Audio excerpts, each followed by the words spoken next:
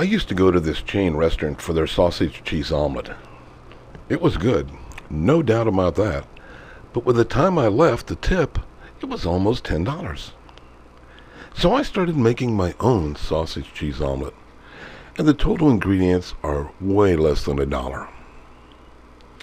Now it's your omelet, so put in whatever you like. I generally check out the vegetable bin in the refrigerator and see what needs to be used up. Today I have some mushrooms. And of course, I always want to add some green onions. You only need one sausage patty. A little bit of sausage adds a lot of flavor. After turning the sausage over, I clean out the skillet with a paper towel to get rid of any grease. Coat it with butter and saute the mushrooms and the green onions.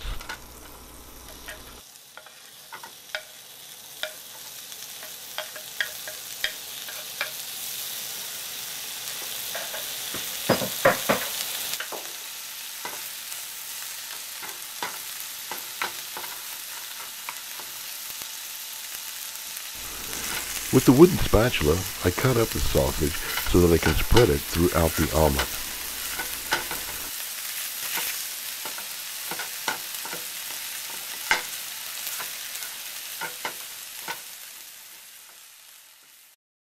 Well, it's time to crack a couple of eggs.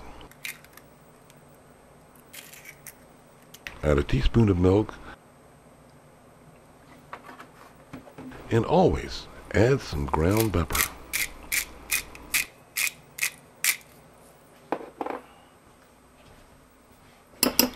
Stir the eggs with a fork.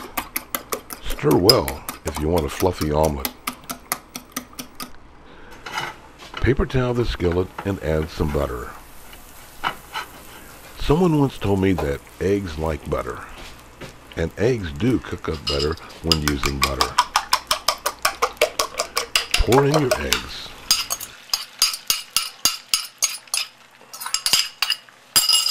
Add the sauteed mushrooms, green onions, sausage, and some cheese.